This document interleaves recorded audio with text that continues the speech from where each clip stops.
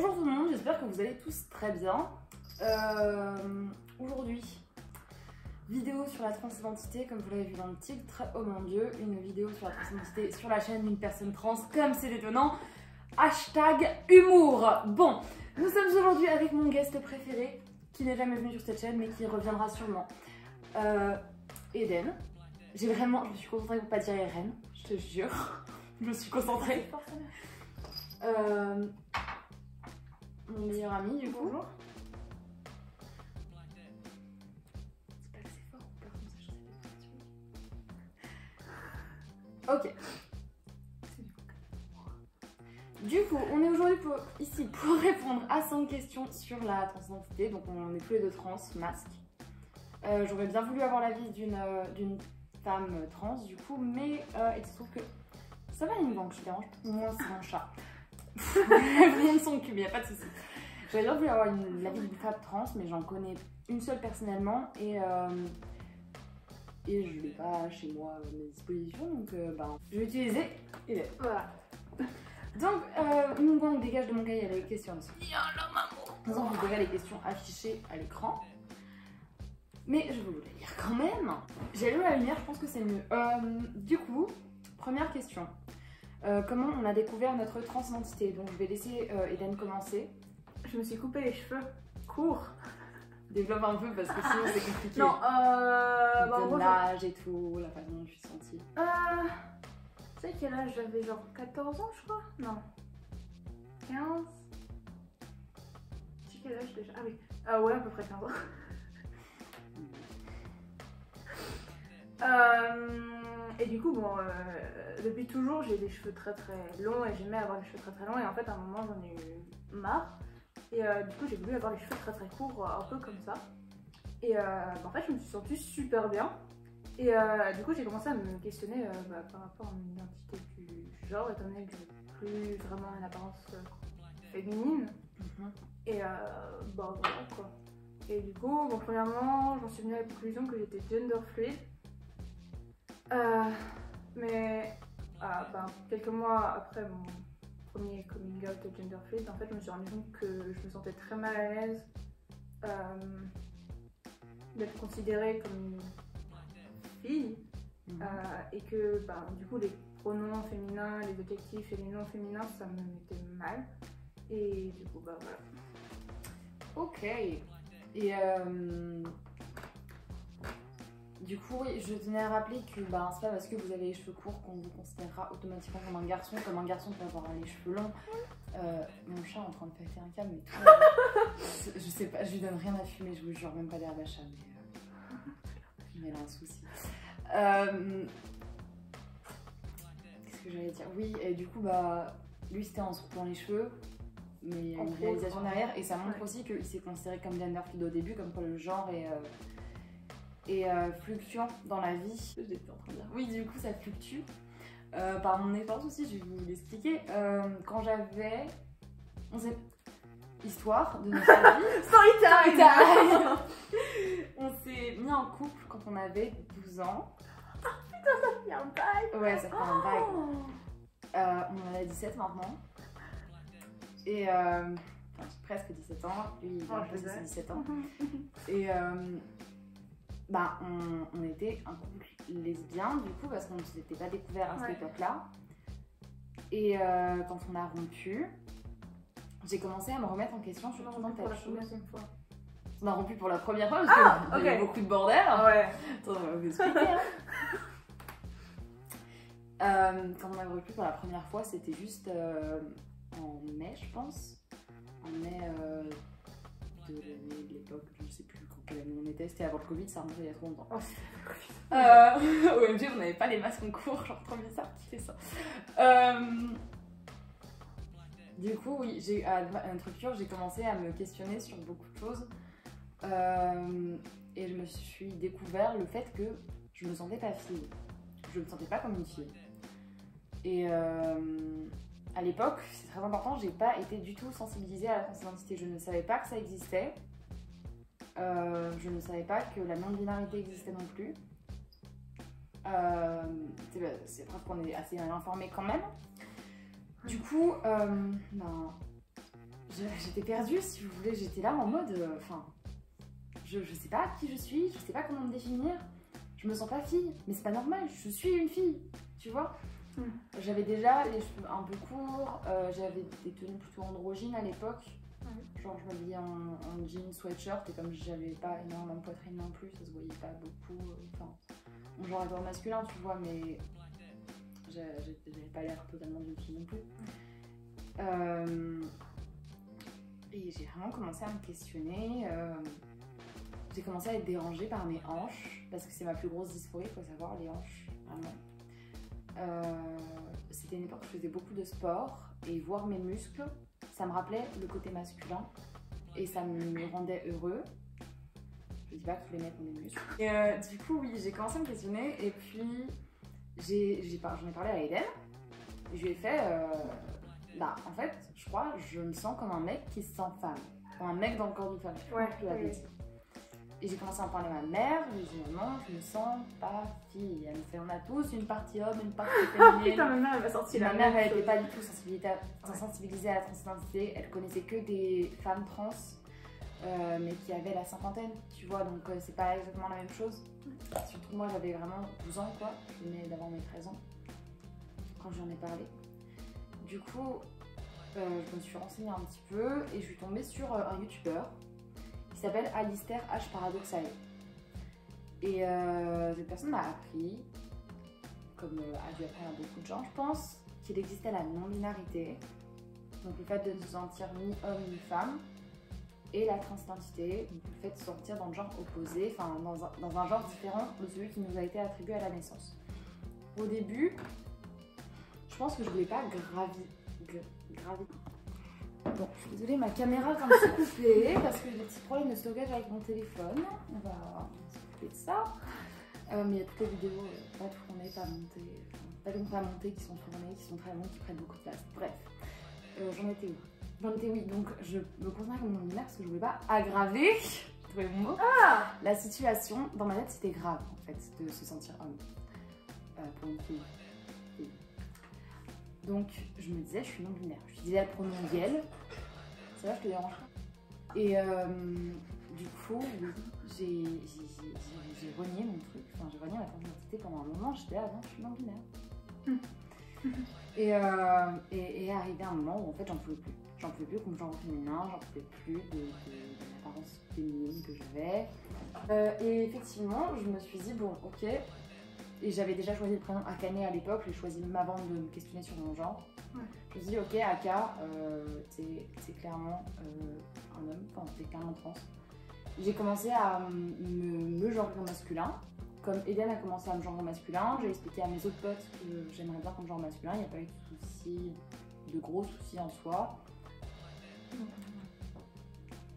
Donc voilà, c'est comme ça que. Et je me sentais bien plus confortable, bien sûr, euh, quand Et ensuite, j'ai fait. Coming out à une partie de, ma famille.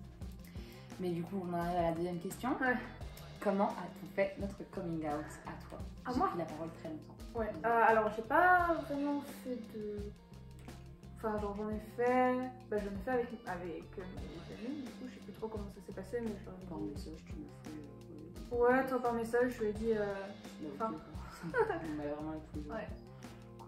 Euh, après, ouais, ceux de mes potes, ben, je leur ai juste dit euh, coucou, j'aimerais me faire genre en masculin, entre autres. Après, ma famille, bah, mes parents sont divorcés, du coup, du côté de ma mère, c'est assez compliqué. Bah, ma mère en Allemagne, c'est compliqué. Je lui ai pas fait un coming out direct en me disant euh, bah, coucou, en fait, euh, je me pas considérer comme une meuf. Mais je lui ai laissé des indices entre guillemets et. euh, enfin, du coup, elle sait quand même comment je me sens, mais euh, voilà quoi. On en parle pas vraiment. About Voilà, c'est ça. Et euh, Je suis désolée, je me mets dans la caméra et vous continuez à voir son magnifique visage. je suis extrêmement calme. Euh, du côté de mon père, j'ai mis un peu beaucoup de temps. Enfin, je l'ai fait il y a très récemment d'ailleurs. Il y a très ça. Oui, il y a très récemment. C'est ce que j'ai dit Oui. Oui Il y a très récemment. Bah si. Ah non Débattez en commentaire. Il y a... Si, c'est... Ouais. Et euh... bon, ça a été un peu compliqué euh, parce que je n'osais pas me lancer je me souviens, ma soeur, en gros, on était à un dîner avec des, de ses connaissances de son travail et euh, je me sentais pas à l'aise. Du coup, je lui ai écrit un énorme pavé par message que je lui ai envoyé, je l'ai écrit sous la table comme ça. Et euh, du coup, elle m'a dit, si tu veux, on peut en parler plus tard et tout, c'était pas trop la bonne situation. Et au final, dans la voiture, pour rentrer à la maison, on en a parlé, du coup, je lui ai dit et tout, elle a parfaitement accepté. Euh, elle essaye de me genrer au masculin, bah, comme elle peut, quoi. Et elle essaye de m'appeler bah, Eden, du coup. Euh, et puis mon père, après, du coup, il fait bah, pareil. Voilà. Ok. Tour. Euh, que de base, j'aime pas mon, mon de base, je le trouve vraiment très moche. Je le dirai pas sur internet, je pense. Et si vous le connaissez, s'il vous plaît, le dites pas en commentaire, c'est juste bête et méchant. Mais euh, ne, cherchez, ne cherchez pas à le connaître parce que non, c'est pour moi. Si vous cherchez mon prénom, c'est Aka ou Akane. Mais euh, voilà, j'ai dit à ma mère déjà que je n'aimais pas mon prénom. Euh, il faut savoir que mes parents sont pas divorcés, mais ils sont séparés et ma relation avec mon père est très très très compliquée. Euh, à savoir que euh, j'ai eu beaucoup de traumatismes qui ont causé l'état dans lequel je suis actuellement. Je parle pas de ma je parle de ma dépression. Euh, et euh, oui, du coup, c'est compliqué de parler avec quelqu'un qui t'a trauma largement. Euh, donc j'ai commencé par en parler à ma mère et j'habite avec ma maman et une amie. ma maman. Donc je leur en ai parlé à elles deux. Et elles m'ont fait oui, mais peut-être pas sûre et tout, mais ai expliqué vraiment ce que c'était la transidentité. Elles ont compris. Et j'ai parlé de ça, j'avais 13 ans. 14, je venais d'avoir 14 ans, je crois, comme ça. Mais je, je lui en ai parlé plusieurs fois à ma mère. Je lui ai dit, mais tu sais, je me sens pas fille. Tu sais, j'aimerais bien qu'on me genre masculin, mais tu sais, dans la, dans la vie d'habitude et tout, au, collège, machin, on m'appelle Akane. Et euh, de fil en aiguille, euh, c'est devenu de plus en plus insupportable pour moi. On m'appelle ma fille, euh, etc., etc. Et euh, pendant le confinement, j'ai dit à maman, maintenant tu, je peux plus, en fait, vous- enfin vraiment, c'est. Et, ma coloc, mais du coup, je vais pas dire son nom. Euh, je, je veux plus vous m'appeliez par mon name. C'est insupportable, c'est vraiment dur pour moi. Je vais pas très bien en plus, donc si vous pouvez me balancer, c'est très sympa. Et, euh, et j'aurais fait, mais de toute façon, si vous m'appelez par mon dead name, je ne répondrai plus. Si vous me jouez au féminin, pareil. Donc elles ont assez bien compris parce que quand j'ai- je parle pas beaucoup de mon malaise en soi à, à mes, à mes Ouais. parents. Donc euh, là, quand j'en parle, c'est qu'il y a vraiment un truc qui déconne. Et donc là, elles ont compris, et du coup, depuis, elles m'appellent Aka, elles me genre masculin, euh, elles me féminisent pas du tout. Euh, mais ça, ça fait toujours plaisir à entendre quand on est au masculin dans la famille, c'est vrai. Et euh, ma mère s'est sentie obligée d'en parler à mon père. Et de toute façon, je, savais que moi, je- de moi-même, j'aurais pas pu lui en parler, donc elle lui en a parlé. Il a fait, écoute, euh, j'ai pas de problème avec ça et tout. Moi, j'ai pas de problème avec le fait que tu te sentes homme, c'est pas, pas big deal. Mais il a dit, euh, je peux pas te considérer comme mon fils. Parce que moi, j'ai eu une fille. Ça fait mal. Mais d'un autre côté, faut comprendre le parent qui n'est pas du tout, du tout, du tout exposé à ça. Pour le coup, il n'est pas comme ma mère, il n'a pas de pote trans, euh, même transfemme ou quoi. Donc euh, ça a été très compliqué. Et euh, maintenant, il essaye de. Déjà, il ne m'appelle pas par mon prénom, il m'appelle par un surnom que je développe perso. Et, euh, et puis il me féminise plus trop, euh, il, il essaye de ne pas me genrer en fait. C'est pas une genre au féminin, c'est pas une genre masculin, c'est utilise que les accords neutres. Ouais. Et puis, puis voilà, euh, j'ai envie de dire, enfin, ils sentent que je prenne de la testostérone, il manque chez manager, etc., etc. Donc voilà. Euh, question 3, comment est-ce qu'on gère notre dysphorie? Mal. Quand tu gères ta dysphorie Mal. Comment tu essaies de gérer? Comment Euh, Déjà, qu'est-ce que c'est tes dysphories si tu veux en alors, euh, moi, ce qui me rend très, très, très dysphorique, c'est principalement ma poitrine qui est relativement euh, Huge. proéminente. Non, je dirais pas proéminente. Like, Développée? yeah. Mhm. Bébé, Euh, Aussi, bah, un peu mes cuisses et mes hanches, mais principalement ma poitrine. Mhm. Euh, du coup, ben, généralement, ce que je fais, c'est que je mets mon binder, je le mets très très souvent. Il me semble que même une fois, je me sentais tellement mal que je me suis endormie avec. Euh, Ne le faites pas. non, ne le faites pas. faire parce que c'est vraiment, ça peut. Ça peut Oui, briser dangereux. côtes, ça peut t'empêcher de respirer, tu peux mourir d'asphyxie dans ton sommeil, des comme ça. Euh, puis, ouais. Enfin, je mets des vêtements larges, enfin, des choses qui cachent ma poitrine et qui me font oublier euh, bah, qu'elle est là. Quoi. Ok. Alors personnellement, je suis du coup dysphorique de beaucoup de choses. Euh, de mes bras. Parce qu'ils sont. Ils arrivent pas, ils étaient musclés. Là, ils ne sont plus du tout. Euh, de ma poitrine un peu. Ensuite, je fais même. Enfin, même un bonnet A si vous voulez, c'est trop grand pour moi. Donc, Je dysphorie un parce que ben, j'ai deux bouts de graisse là. Mais part ça, ça va. Mais ma taille qui est creusée. Du coup, j'aime pas parce que c'est trop féminin. J'en renvoie trop à une image féminine. Mes hanches, mes cuisses, c'est déjà beaucoup. Déjà trop. Et mon cou, ma mâchoire. Ça Ah, j'aime pas. Enfin, sûrement. Ouais. Donc, comment je fais pour gérer? Bah, aujourd'hui, par exemple, j'étais en grosse crise de dysphorie, du coup, bah, euh, j'ai mis un, gros un pantalon large. Enfin, c'est mon pantalon de pyjama, mais genre, il est super large et tout. J'ai mis mon gros sweatshirt sur lequel on voit pas que j'ai des seins. Et euh, j'ai fait quoi aussi? Bah, j'ai pack. Pour la première fois de ma vie, non, c'est la deuxième fois de ma vie que j'essaye. Et je suis jamais sortie avec un packer parce que je me sens pas en- encore assez en confiance avec moi-même pour le faire. Je pense que ça va venir très tôt, enfin pas très longtemps parce que là je me sens bien, tu vois, j'ai pack ou cet après-midi j'étais en crise de dysphorie, je me suis pack, genre j'ai vraiment bricolé mon, mon je suis Oui. beauf. Je suis beauf. Mon, cal- mon caleçon pour, euh, bah, pour euh, Pâques. Du coup, bah, si vous voulez l'astuce, je l'ai découpé euh, genre au niveau de l'entrejambe et j'ai mis des choses comme ça. Parce qu'on est pauvres ici. Et du coup, bah, ça rend comme ça, genre. Je vous montre. Paquet. Oh, les culs. Voilà. Et euh, j'aime bien. Franchement, je me sens mieux. Euh, et puis j'ai regardé des vidéos de trans positives. euh, notamment de Crazy Eden et de Alistair H. Coup. Et puis voilà, puis j'ai repensé à mon psychiatre de transition, que j'embrasse, qui, me, qui me rassure pas mal. Question 4, nos projets de transition. Excellente transition pour une transition. Bon Alors, moi, mes projets de transition. Euh, Je suis en demi-queue. Alors, mes projets de transition, je suis pas encore sûre. Euh, Genre, dans l'immédiat, on va faire plus simple. Dans l'immédiat, si on te proposait de changer des trucs de transition, pour ta transition, tu ferais quoi? Alors, je pense que je me ferais soit une réduction, soit une ablation des. Des boobies, Des boobies Euh. Ouais. Ouais. Ouais. Testostérone. Ouais, pourquoi pas. Ouais, ça va. Je crois qu'il a pas vraiment pensé à sa transition, ce mec. Non, ben je sais pas. En fait, je suis pas sûre de ce que. Et c'est ok. Du Oui. coup, je passe, tu passes le micro. Bref, du coup, je peux prendre la transition, monsieur. Alors, il faut savoir que j'ai vu un psychiatre à la Pitié-Salpêtrière dans l'unité spécialisée euh, bah, bah, pour la transidentité à Paris.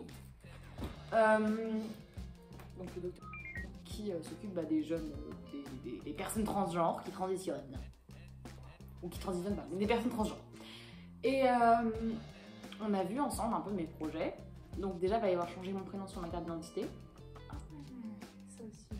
Euh, ensuite, il va falloir qu'on constitue un dossier pour que j'aille au tribunal, pour que je change mon genre sur ma carte d'identité. Faut aller au tribunal parce ok, qu'en bon gros, alors ceci est mon coming out euh, cisgenre. parce qu'en gros, si tu veux, ça change ton numéro de sécu. Le 2 devient un 1. Ouais, bah oui. Et du coup, c'est compliqué. Donc, donc voilà. Euh, ensuite, je vais prendre la testostérone l'année prochaine à mes 18 ans. Euh, et ensuite, je vais euh, faire une ablation mammaire, donc une, une torsoplastie. Mammectomie ou torsoplastie, on préfère le mot torsoplastie parce que mammectomie c'est retirer quelque chose, alors que torsoplastie c'est faire une opération pour que tu aies un beau torse. C'est plus positif comme terme, en fait, c'est ça que je viens expliquer. Et euh, plus tard, peut-être. euh, changer de sexe, mais je suis pas sûre. En tout cas, euh, hystérectomie. Donc hystérectomie, c'est l'ablation. C'est enfin, il y a trois types en fait, mais en gros, c'est c'est plus du utérus. En gros, je fais du gros, gros, gros, mais euh, sinon c'est bien plus compliqué, ça va prendre 30 minutes. Donc, dernière question, question 5. Comment on vit notre adolescence en tant que personne trans? Enquête spéciale.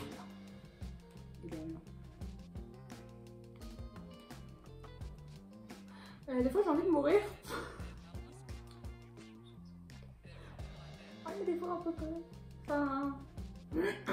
Bonne tapette que j'ai là Et un peu des fois quand même euh, Je sais pas par où commencer en fait. Bah, par exemple, euh, au lycée. Ah, au lycée euh, Bah, franchement, ça va. Euh, ben, en fait, j'ai fait mon. euh, ma prof principale très très ouverte d'esprit. Au départ, euh, je ne comptais pas faire de coming out, euh, mais j'ai un autre pote qui est trans. Enfin, parce qu'en gros, au début de l'année, j'ai changé de classe, mais bref. Et du coup, il m'a dit Ouais, notre prof principale, est super cool, euh, je pense que tu peux lui dire et tout. Et du coup, je lui ai dit. du coup, bah, elle m'appelle Eden, elle me genre euh, au masculin. Euh, je crois qu'il y a la plupart de mes profs aussi qui me. comme ça. Ben ouais. Ce qui me fait chier, c'est de devoir des fois écrire quand même mon domaine sur mes copies. Sur la plupart, je le fais pas, mais sur les, genre les trucs de, de bac ou les, enfin, les épreuves, euh, fait chier. Ouais. Euh, ouais. Ouais. Ok. Et euh, au niveau de, des potes et tout? Oh, moi, mes potes, ça va. Alors, il faut savoir que même si on est amis depuis qu'on a 11 ans, on n'est pas dans le même lycée parce que Ouais. j'ai décidé de bouger mon cul de ma ville natale et d'aller dans la grande ville qui est à côté, Dijon. Et, euh, et en gros, j'ai fait mon coming out à tous mes potes dès que je suis arrivée au lycée parce que j'avais aucun problème avec ça. Vraiment, j'étais là, mais jugez-moi si vous voulez, mais si vous, êtes, si vous me jugez, c'est que vous êtes même potes. Et au final, euh, je suis assez pote avec tout le monde dans le lycée, même si je suis très introvertie et j'aime pas parler aux gens, ben c'est un lycée où il y a beaucoup de gens cool, je vais pas mentir. Donc ça me dérange pas de parler aux gens. Euh, quasiment personne sauf les gens de ma classe, du coup, c'est mon dead name. Euh, et puis voilà, et puis des gens qui le savent, soit c'est des gros homophobes et euh, ils vont se faire foutre, soit c'est mes potes, Peut-être. soit homophobes. euh, same thing, different word. hein. Et du coup, mes potes le savent et ils sont top. Franchement, ils n'ont rien à foutre.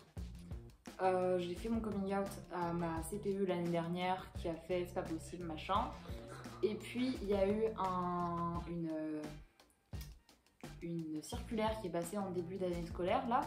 Euh, si vous êtes trans, vous le savez sûrement, mais en gros ça pousse euh, les, les, les cadres éducatifs en soi à, euh, à appeler les personnes trans par leur prénom et ça pousse aussi les élèves à le faire et à les genrer par les bons pronoms. Ben si, il y a une circulaire qui passe, qui est dans toute la France. Euh, un petit peu qui l'a fait d'ailleurs, mais merci à cette personne, je crois que c'est Et euh, du coup, ben, j'ai fait mon coming out à la prof principale en début d'année là, et euh, la plupart de mes profs euh, m'appellent Akane ou Aka. Et vu que je vais pas beaucoup, beaucoup en cours non plus pour problèmes euh, psychologiques, et ben euh, je vois pas beaucoup les profs qui m'appellent par mon dead name. Donc c'est plutôt stylé au lycée. Ensuite, en tant qu'adolescent, alors je parlais d'un sujet fâcheux, je suis en hôpital psychiatrique deux jours. Oh. Oh. Oh. Et euh, ils ont pris une décision que je trouve débile pour euh, un hôpital psychiatrique qui est orienté vers les jeunes. C'est que même les personnes trans, ils disent avoir conscience de leur mal-être, mais ils les appellent par leur dead name et les genres bien en féminin. Mais tu vois, enfin bien en féminin, bien en féminin pour les personnes trans masques. Il n'y a pas de transfemme dans le service du coup. Euh, mais bien, bien, ils insistent bien, les mademoiselles, euh, les, les pronoms féminins, ils sont à fond là. Et, euh, et c'est assez gênant, du coup, j'ai un peu pété un coup de gueule, ma mère aussi. Et mon psychiatre de transition, du coup, mon psychiatre pour ma transition va pas tarder à leur, les appeler et leur faire c'est pas normal ce que vous faites, vous êtes très mal informés. Donc voilà, ça va plutôt bien se passer, je pense. En tout cas, moi je fais avec, on va dire. Et puis euh, j'essaye de avoid le truc de ma tête parce que sinon ça va juste me saouler et j'ai pas envie de m'énerver pour rien. Je pense qu'on peut en terminer là. Oui. Donc euh, voilà, j'espère que cette vidéo vous aura plu. Eden, tu es ressenti sur cette vidéo? T'étais à l'aise? Été peu près, oui. Ok. Ça va? Oui. Non, vraiment. Non, mais ça. Ok. Ben moi ça m'a fait plaisir de vous en parler, du coup, surtout avec mon meilleur ami. Et euh, qu'on soit deux à parler pour une fois, parce que c'est rare les vidéos. En général, je tourne tout seul parce que, bah, parce que j'ai pas trop le choix. Ou euh, que je suis inspirée quand je suis tout seul. Ouais, bref. En tout, en tout cas, n'hésitez n'hésitez- n'hésitez pas à vous abonner pour me soutenir. À aller voir Eden sur ses réseaux. Enfin, sur son réseau social principal qui est Euh. Instagram quand même. Donc je vous mets son Insta dans la description si je n'oublie pas. Euh, euh, n'hésitez pas à mettre un like, à commenter pour dire ce que vous avez pensé. Si vous êtes trans, n'hésitez pas. euh, Coucou Oui aussi. Coucou les cons. Soit à me DM sur Instagram si vous avez des questions, soit à me DM sur Instagram pour faire euh, une, une collab en vidéo, pourquoi pas, un euh, si, la- si ça match, je vois pas pourquoi on n'en ferait pas. Et si vous êtes près de... Vous êtes en Bourgogne, on va dire. Parce que pour l'instant, j'ai en Bourgogne, je n'ai pas trop la possibilité de me déplacer. Euh, parce que je suis mineure, fait que j'ai pas mon permis ou quoi encore. Enfin, pourquoi on peut même à Côte d'Or, je pense. si tu peux aller. euh, Oui, Côte d'Or. Côte d'Or, c'est mieux. Mais du coup, si vous êtes, même si vous me connaissez déjà et que vous vous dites, tiens, j'aimerais bien faire la vidéo, et à ce compte-là, je ne répondrai pas aux questions, je vous poserai les mêmes questions et vous partagerez votre expérience comme Eden l'a fait.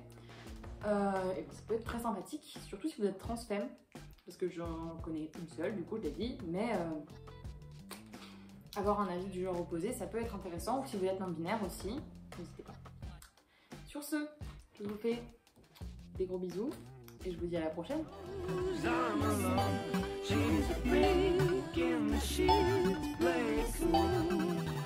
Sleeping.